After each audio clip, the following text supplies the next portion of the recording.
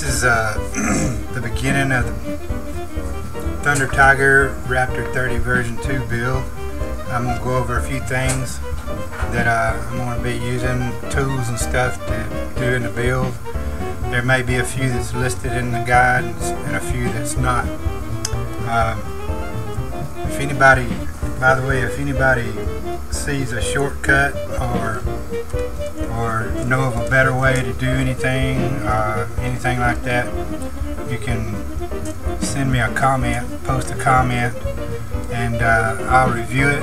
And if I think it makes sense, logical sense, then uh, I'll add that in the notes of the build. Uh, the first thing I'm going to go over with some of the tools I've got here. Uh, I've got a Sharpie pen. It's not a Sharpie marker. It's got a real fine tip on the end of it, but it's permanent, just like a Sharpie. Needle nose pliers, uh, pair of dikes, cutters, angle cutters, wire cutters, whatever, several different names. Uh, scotch tape, you never know when you might need to tape something to hold for you. Uh, set of ball link pliers. These are the non-curved. Uh, this is a these set of ball link pliers has different blades, and it also has a blade that has the curved tips. So I may have to swap them out later. But I'm going to start out with the uh, straight tips. Uh, I've got a pair of small uh, Craftsman uh, Robo grips, and usually if you use something like this, you'll put a rag between the blades so you can grip with it. It won't scar anything up. Uh, pair of regular scissors. never know when you might. I use scissors to cut wire and all kinds of different things. I've probably got gaps in the blades where I've been cutting wire. Fingernails, toenails, eyebrows, nose hairs, whatever. Uh, I got a small Phillips screwdriver. The reason is because I don't want it to uh, give me so much handle that I could get too much torque. So I got a small screwdriver. Even though the tip's small, if you push in a Phillips head screwdriver, and you're not going to turn this blade uh, beyond uh, where you're going to round the screw out as long as you push it in there good. And you're not going to need that much torque putting uh, metal screws into plastic. These are what the metal screws look like. The threads on them are pretty coarse. This is what's used to hold the frame together. Uh, got two open end wrenches. This one's a 7 millimeter. It's got a hook side and a straight side or an offset side. This is a 5.5 millimeter, same. I've got a small jeweler's file. You never know when you might find a rough edge and you want to file it off. I also got sandpaper too that uh, will do some of the same things. I've got a tube of white lithium grease. I've probably had this for years, so you can tell I don't use it very much. But this lithium grease is uh, what I use to grease any of the bearings and whatnot. There's probably going to be some people that argue that, but uh, this will prevent rust and corrosion, plus reduce wear on the bearings and any moving parts. Uh, I got a, a Craftsman spinner, quarter inch spinner for uh, putting sockets on. I've got a deep well socket here. It's uh, I got a 10 millimeter. I've got a, I think this is an 8 millimeter. It is. And this one is a 7 millimeter. And then I don't have a 5.5 millimeter socket, so I had to buy or use my EXI 5.5 millimeter uh, tool. Okay, uh, I'm using 3-in-1 oil instead of the tri, tri oil whatever it is, but I'm pretty sure that this 3-in-1 oil will work just as well as the uh, tri-tower or whatever it is, oil that others talk about. Got an X-Acto blade with a fresh blade on it. You Have to be careful, don't poke yourself because I do all the time. And got a ball link pliers, set of ball link pliers. These come in real handy. And this is uh, what everybody calls CA. Uh, this is mine is Gorilla brand, the, the Gorilla brand. I got it at Walmart, so you know it's pretty pretty uh, popular out in my area. I got a fresh tube of uh, blue Loctite. This is a 240, 242 blue Loctite, not the uh, the lock that uh, you can lock down some nuts and you will never get them off unless you heat them up with a torch or something. And these are my the Allen wrenches. I think this is a three millimeter and a two millimeter, a one millimeter, and maybe this is one millimeter. Anyway, I don't know what the sizes are, but uh, they'll fit the nuts and bolts that I'm going to be using to put this helicopter together. So with that said, uh, next step is uh, we're going to go through according to the manual here. We're going to start with the fuel tank assembly, which is step one. Step two is the clutch bell assembly. Step three is the frame assembly part one. And maybe we'll get to the main drive gear this evening. And I won't do the head and the washout assembly until another day. So let's get started and we'll see what happens. Okay guys, uh, first step in uh, building this thing, RC, the uh, Thunder Tiger Raptor 30 version 2. First thing it says is to put the fuel tank together. So I get this fuel tank out.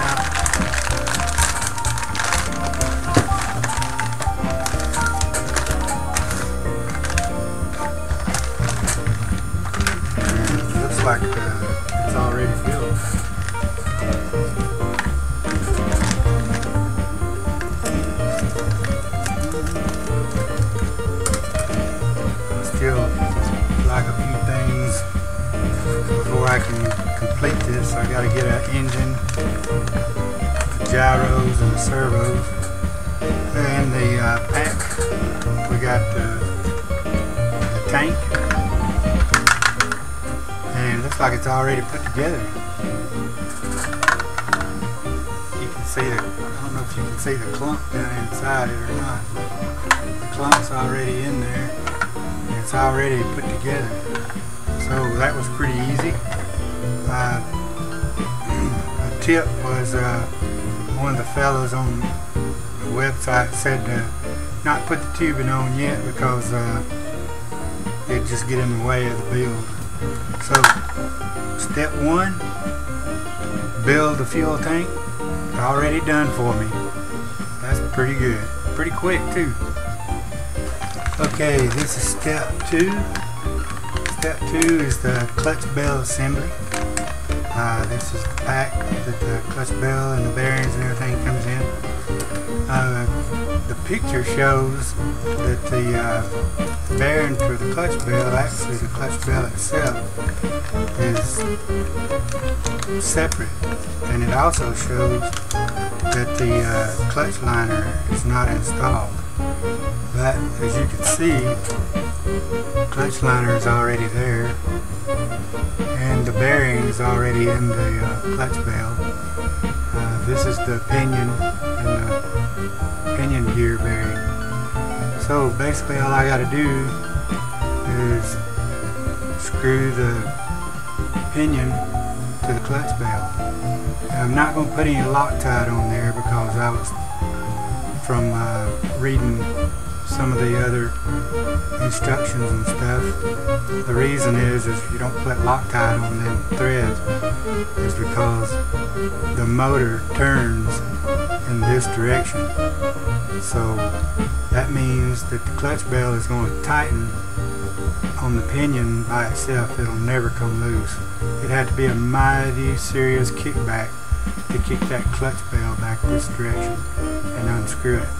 Plus, if you ever have to replace this, from what I've been reading, is if it splits or if you have to replace the liner, you have to take it out of the, uh, cage and to put the, a new liner in. And uh, if you put Loctite on that, it's really, really hard to get out of the uh, the cage. So that's pretty much it. That's step two. Step two is finished.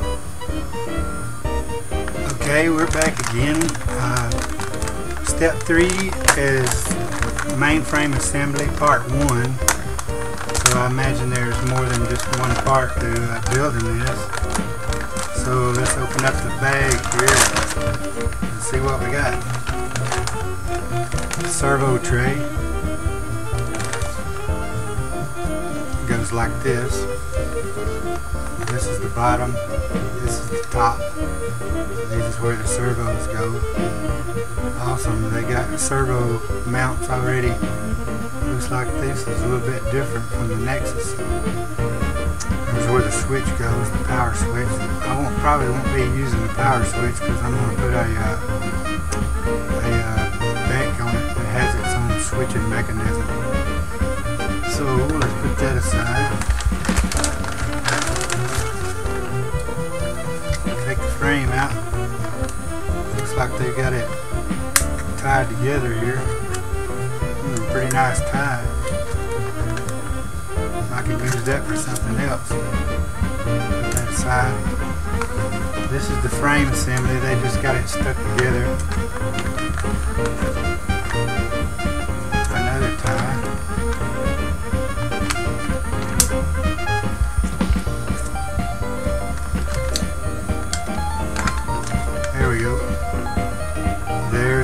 Like on the inside. The two bags. And here's the parts bag. Nothing left. Inside this parts bag we got the uh, the little frame posts and these are the belt pulleys, bearings, screws, and looks like bushings of some sort. So uh, we'll be uh, putting this together. Let's get it opened up here. See what we got. Don't need the pulleys at the moment.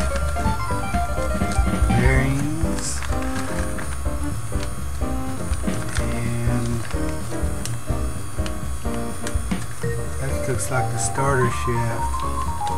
Yep. That's the starter shaft, and that's the, uh, the, hop, the top of the starter shaft. And several bushings and odds and ends, screws, washers. And a frame post or whatever you want to call them. Yeah. So we got these out. We're going to cut them out and look and see where the long ones go and the short ones go and see which side is best to put them in first and we'll come back and see what it looks like. Okay we got the frame post in. I'm going to show you what frame post goes where. Uh, there's four long frame posts and there's eight short ones four long ones. This is the tail side. Four long ones. One goes here, one goes here, one goes here, one goes here. And these are the short ones. There's eight of them. So we're to take a look at it and see what the next step is in this particular step and we'll be right back. Okay, this is part three of step two. Uh, we got our guide pulleys and we got the little bushings and we've got the two two uh, little axles that they spin on and our pins. So now what we do is we put the pins through the one, put the bushing on one, bushing on the other side.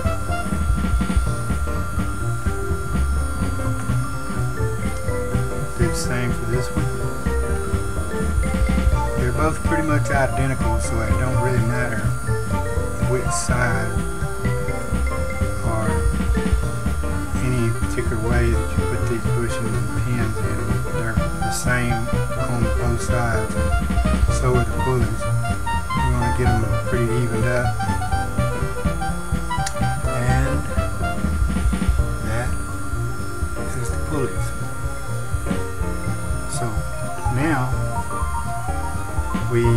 These little dudes to get our frame back. One goes in this side. And one goes in this side. Like so. And they'll fit together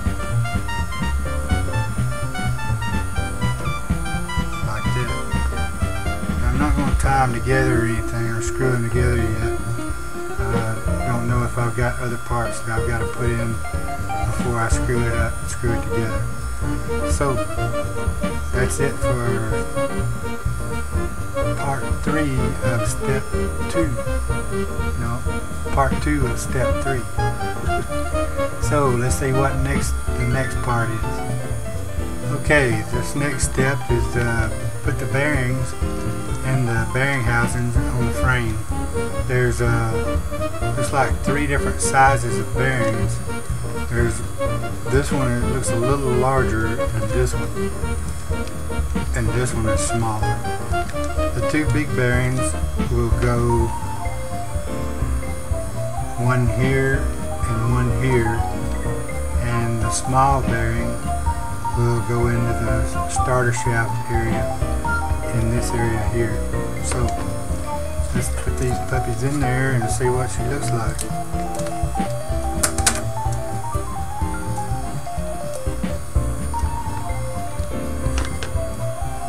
That big one goes there. These two are the same size. That one there. And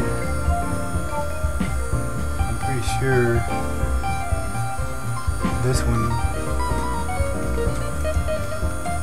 goes in the uh, starter shaft area at the top. So I'll go ahead and put that one there for now. And that's where the bearing placements go. Next I'll be placing the uh, starter shaft and putting the starter shaft and the, uh, the clutch bell and all that together it in the, uh, the frames. Okay, this is the assembly of the starter shaft. so we got to cut this puppy out of the bag.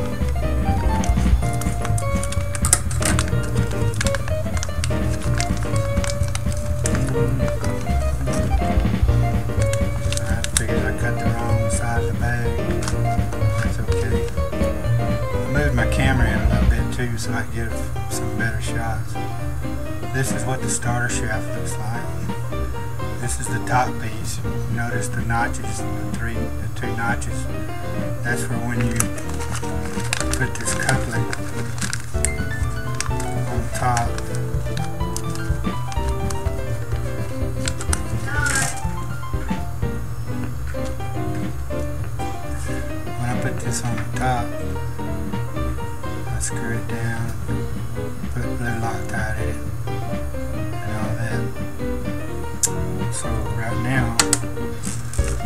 find the lock washer. There's a clip washer in here somewhere. Take the clip. Push it on.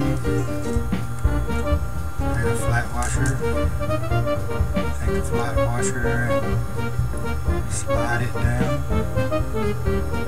And then star shaft goes up through the back.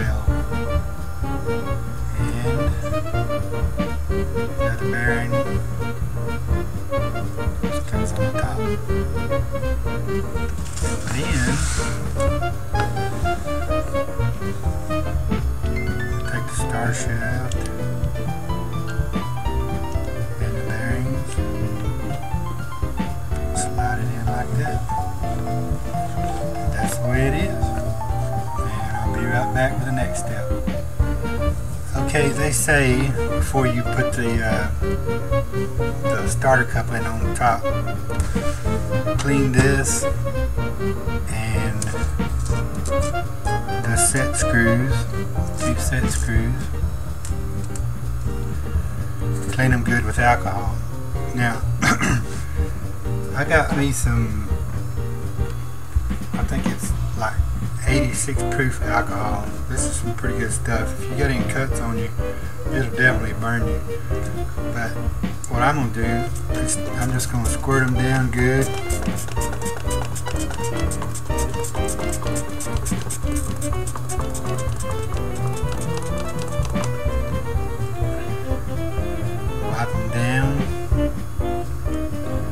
The oil and stuff off so when you put the blue Loctite on them, uh, it'll hold and uh, the Loctite it here.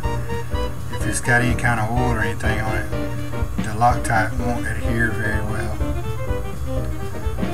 So now we'll take this puppy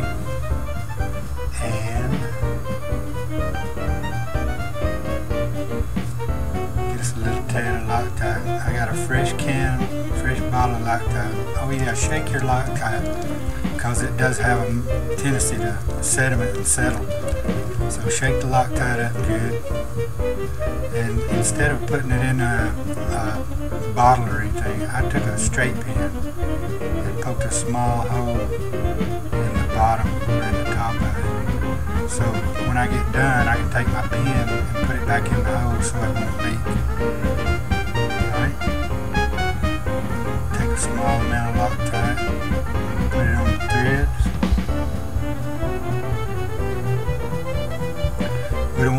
Lot in there.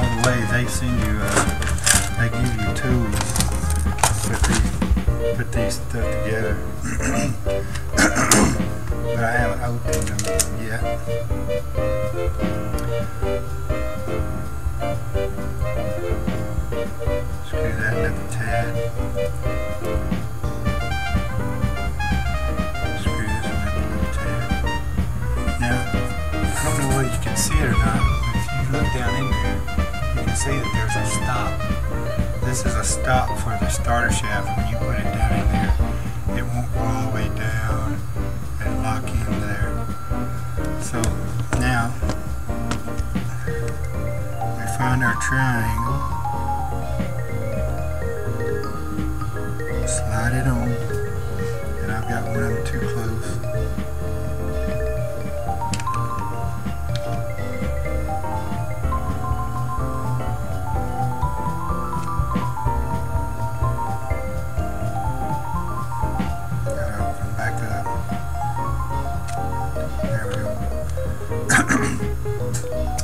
Now it didn't say to put a washer on top of this, I'm going to adhere to the instructions, but it looks to me like there should be a washer on top of it.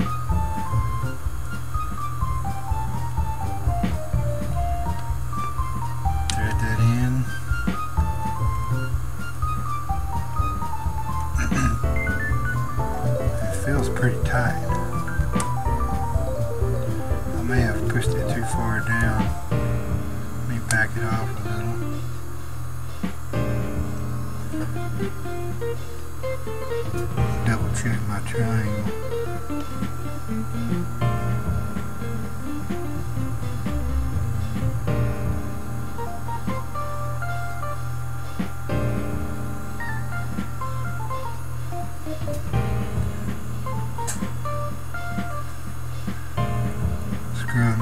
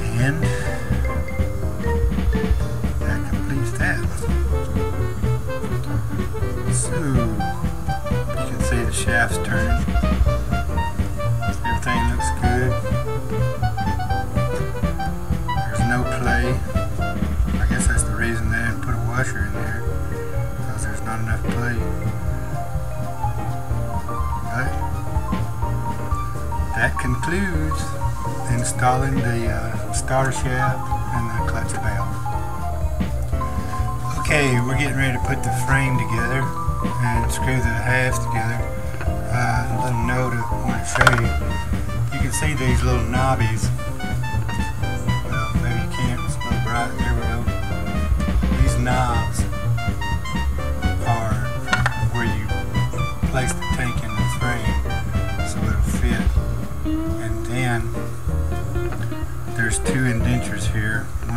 Slide and little another one. Put that in there like that. And then take the old frame. Slide it together.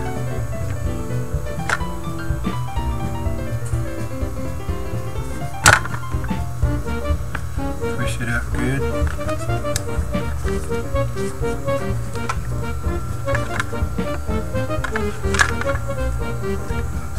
push one of the wheels out, push it back in. There we go. And there we go. So now we got to do is put the screws in and screw the frame up. Make sure the bearings are good and don't have any play. Sure that the uh, starter shaft doesn't have any play either way, up or down or sideways.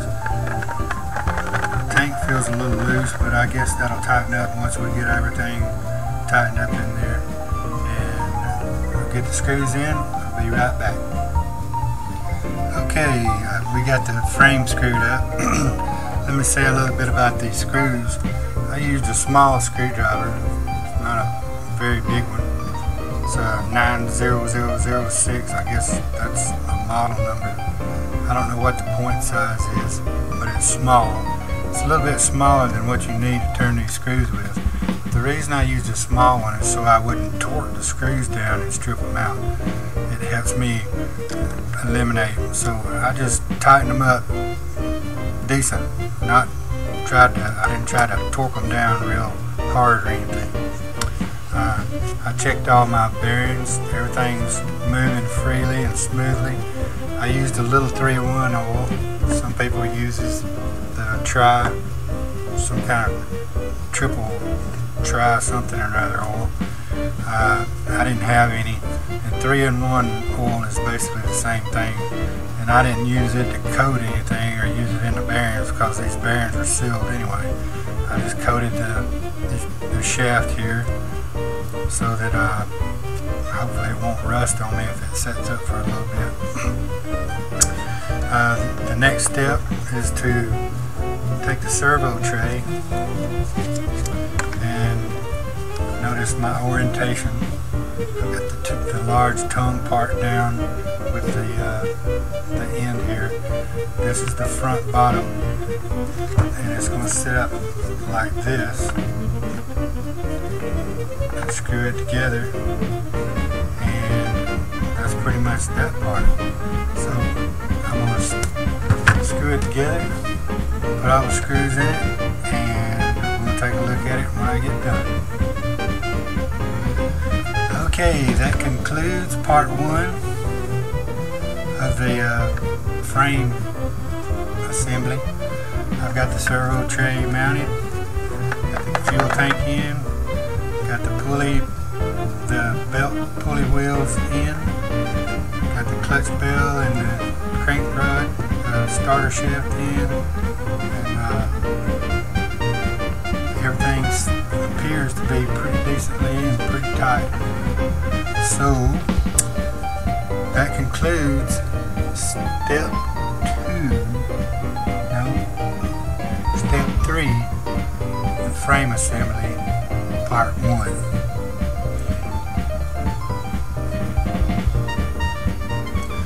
Okay, this is step four.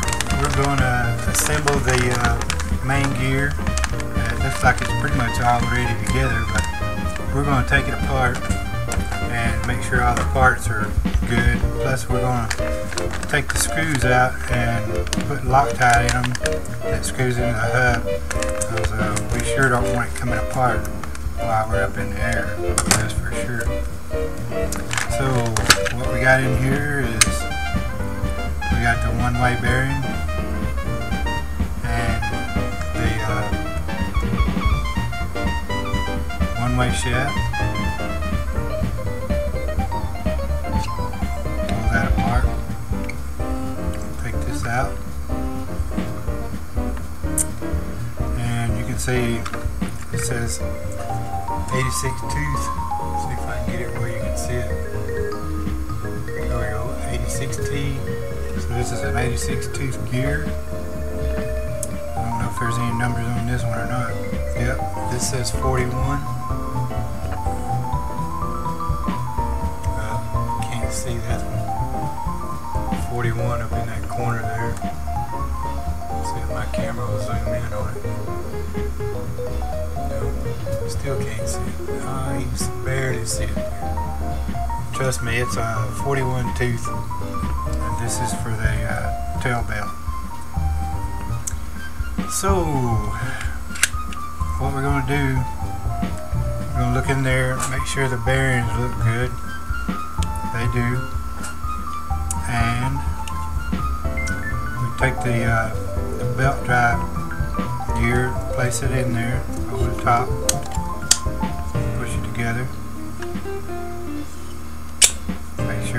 snug.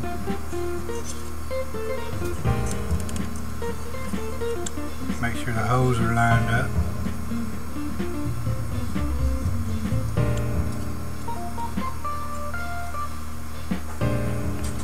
Take my little Allen wrench and line them up.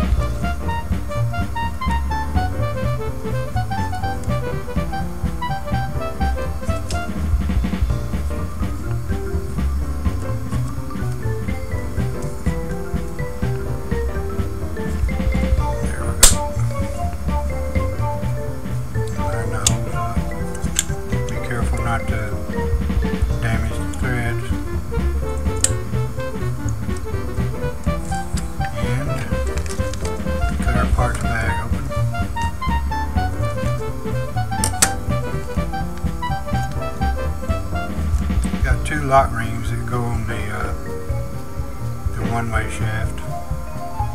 You have to make sure you get the right orientation. You always want the, uh, the bolt hole to go up this way. So there'll be a lock ring on the bottom and a lock ring here to hold it in there. Okay. Get our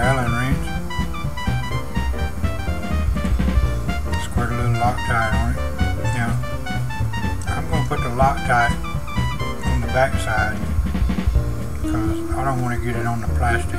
If you get this Loctite on plastic, it'll eat it up. Loctite loves plastic.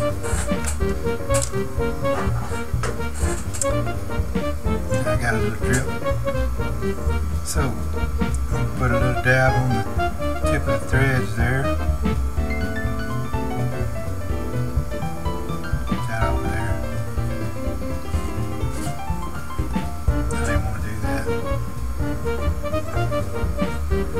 So we flip this over, put a little drop in each one of these.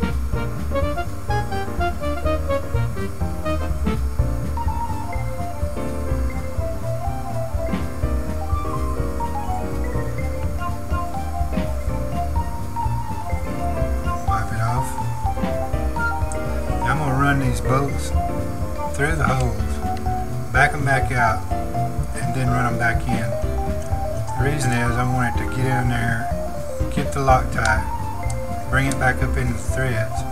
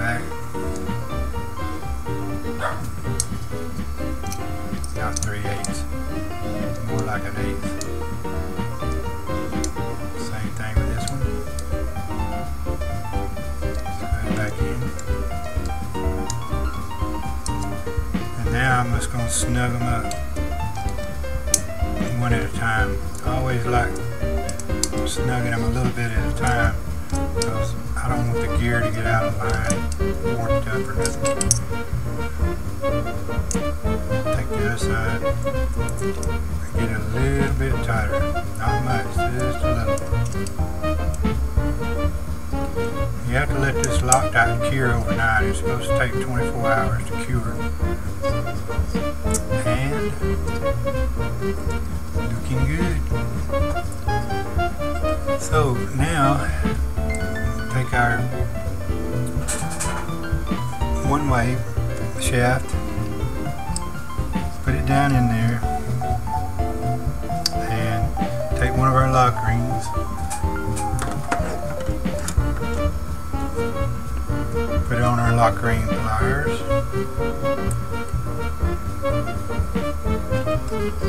Spread it apart, slide it in there, and make sure it gets seated.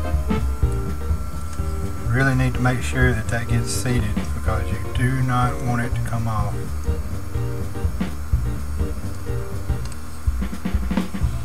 There we go. Now, it's good and seated. Do the same thing for this side.